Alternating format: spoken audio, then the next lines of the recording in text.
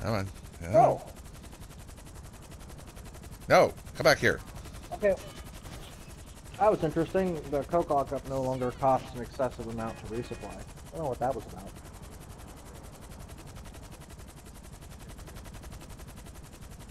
Yeah. Well, no. Um, it cost 90 grand to fully supply it yesterday. Yeah.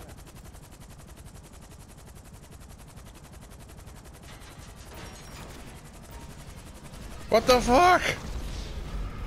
Okay. Never mind. Okay. Don't even really game. Okay. Okay.